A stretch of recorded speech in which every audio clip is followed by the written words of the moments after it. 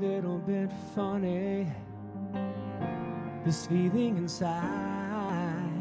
I'm not one of those who can easily hide. Oh, I don't have much money, but, but if I did, I'd buy a big house where we both could live.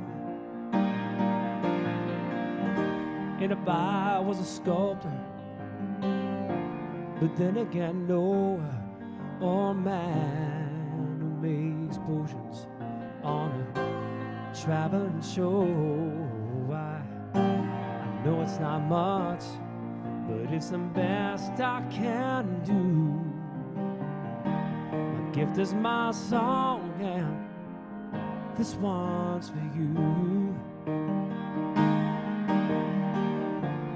You can tell everybody.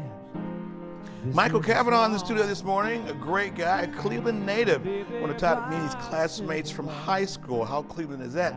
Playing a sold out show tonight at Playhouse Square. Congratulations on that, Michael. Playing the music of Billy Joel, and as you can tell, he's playing also the music of Elton John. So, Michael Cavanaugh in our studio, want to thank him very much uh, for coming in. Well,